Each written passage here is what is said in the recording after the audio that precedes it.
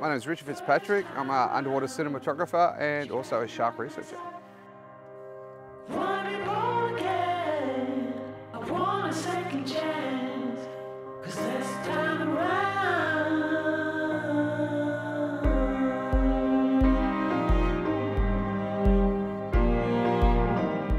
Sharks are an apex predator. They're at the top of the food chain, and that's really important for an ecosystem like the Great Barrier Reef to ensure uh, the health of everything below it. Um, without apex predators removing the sick, the injured, and the weak, you can have um, species that can, um, if they survive, can become genetically weak and more susceptible to things like disease. So the whole pecking order of the ocean is there to keep it in tip-top condition. And this is really important at the moment um, with climate change in that we're trying to make the oceans as resilient as possible.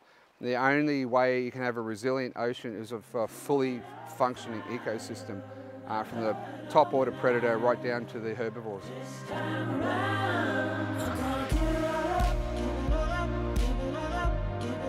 For us, it's really important to get um, scientific data on the movements um, of these sharks so we know what parts of the reef they're using and when they're using them. Uh, and that allows us to hopefully give that inf information to the managers so it'll help protect these species in the future.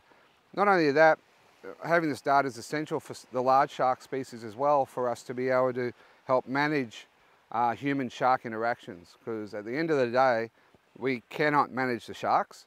Um, it's just really not achievable uh, for a lot of reasons yeah, and it's very topical at the moment. What we do need to do is manage people and the only way we can manage people is to know when and where sharks occur so then they can make um, informed decisions on what kind of risks they want to take.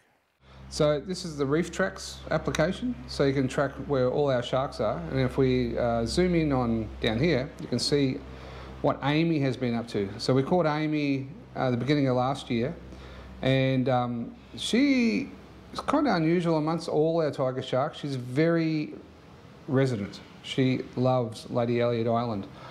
And so you can see the tracks here of her moving. She's almost, on one occasion, gone down as far south as Fraser, but she's very much a homebody.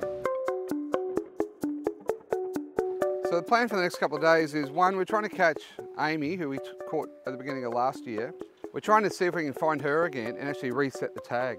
Because uh, the tracks of Amy, um, the satellite track shows that she was a really, she's a real homebody. She's hanging around here. Um, but because she flipped the tag on its side, it stopped transmitting. We've got a surgical tag, um, acoustic tag that we've put inside her that will go for 10 years. And there's three listening stations around the island. And we know by looking at that data, she's still hanging around here. Um, so we're trying to get her back. And then, of course, if we catch any other tigers, uh, we'll be um, tagging, measuring them, and um, with, we'll tag with the acoustic and the satellite tags.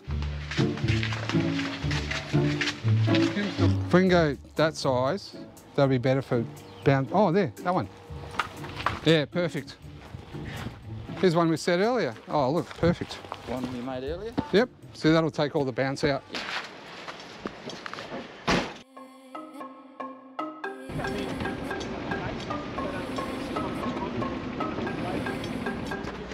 A bit rough, so we're going to go to the other end of the island where it's calmer to load. Okay. But the weather's going to drop out soon. It's all about comfort. It is. With shark fishing, people don't realise you want it calm. You may think that's for us, but it's actually for the shark. Because when we've got it on the front deck of the boat, it needs to be calm, otherwise the shark's going to get injured.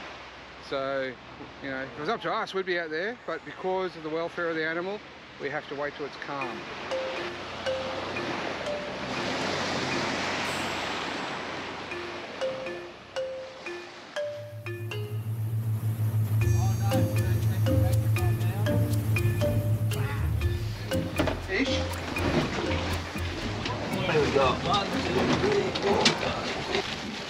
Satellite tags. It's just got the two anodes. So when the, the dorsal fin comes out of the water, then it turns the tag on and then sends up the signal to the Argos satellite systems. Fishing activities we do for the sharks, we moor as far out as possible and we're setting the lines out so they're drifting away from the island. So at the end of the day, we're literally hundreds of metres away from the um, um, conflict with snorkelers. Uh, we're also watching what's happening, obviously. We've got crew on. It's communication uh, happening, so you know the dive shop knows where snorkelers can go, can't go. So we're basically keeping people out of our zone. But the interesting thing with tigers, they're very rarely seen here.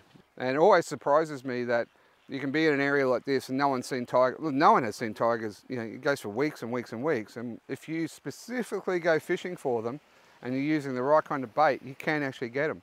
So they're here all the time, but people just don't see them.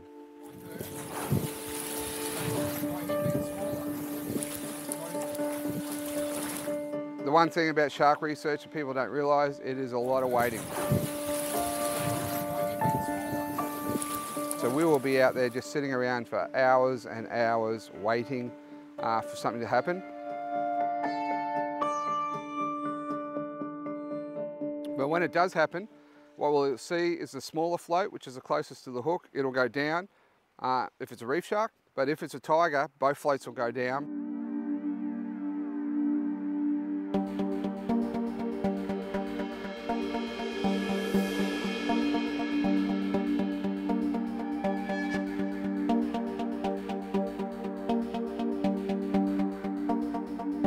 So the, the big floats act as a shock absorber um, and make it a lot easier for us to handle the animal.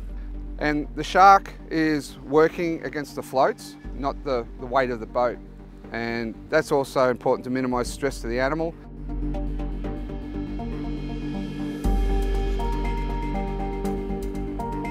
When we pull it into the boat, uh, I'll put a uh, tail rope on the tail and then we'll pull the shark up onto the ramp of the dive boat.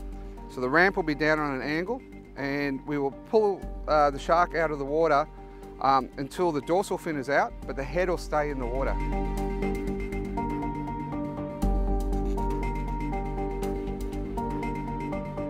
Uh, the good thing about working on tiger sharks is that they can buccal pump. That means when they're motionless, they can still pump water across their gills. And we'll be monitoring that the whole time, like that she's actively pumping. Um, it's all about the welfare of the animal. So if she looks stressed at any stage, we'll cease all operations and release the shark immediately, even if we haven't finished all the tagging. We found with Amy last year, which is the first time we'd ever used a ramp for tagging that I've ever done. It actually works really well because the um, body weight of the shark just holds it down on the deck, the last part, on the tail end, and which makes it very easy for us to do the measuring, for me to do the surgery, to put the radio tag inside, and to apply the satellite tag to the dorsal fin. Uh, we'll take a few tissue samples. The tissue samples are for two reasons. One, um, tissue samples for a DNA study, uh, so then we can look at how the sharks are all related. And the other tissue sample will allow us to do isotope analysis. And that's basically by looking at the muscle of the shark, and like us, we are what we eat, the muscle of the shark allows us to know what it eats. So we can get a percentage of what kind of food items it eats, whether it's fish, turtle, ray, or whatever, by looking at the isotope signatures in the muscle, which is really cool, new innovative research. And then we'll let the shark go.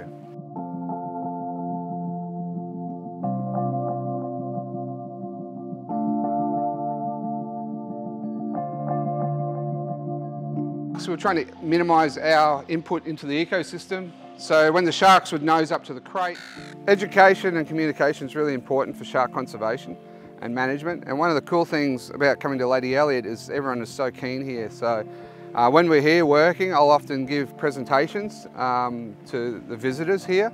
And it's always cool because they've got you know, different questions and perspectives of, of the issues. If we take out sharks, then it'll be a, what we call a trophic cascade, and you'll see a collapse of the, of the ecosystem from there down as everything just starts falling apart. It's kind of like driving down the freeway at high speed and you take your hands off the steering wheel. It'll keep going for a while, uh, but eventually it's going to crash. If we lose the oceans, we lose everything. Um, once the oceans go, you know, they're the, the lungs of the, of the planet, they go, ultimately with humanity will go, and the rest of the terrestrial ecosystems as well everything's interlinked. Lady Elliot's an awesome place to come see sharks and you know the general public can come and see these animals. There's a massive diversity just around this one small island. Yeah, so if all these sharks here, there's been no incidents here whatsoever and there's a few reasons. One, sharks really don't want to interact with people. There's heaps of food out here for them. The water here is so clear, so the sharks see us just as well as we see them. And in fact, when you're talking to a lot of people, they spend, that come here, they spend a lot of time being really cool and calm underwater, trying to get as close to the sharks as possible. So it's really, the interaction is up, up to the shark. Yeah, it's really awesome. It, as a one-stop shop to see as many shark species as possible in a couple of days, this is definitely the place to come.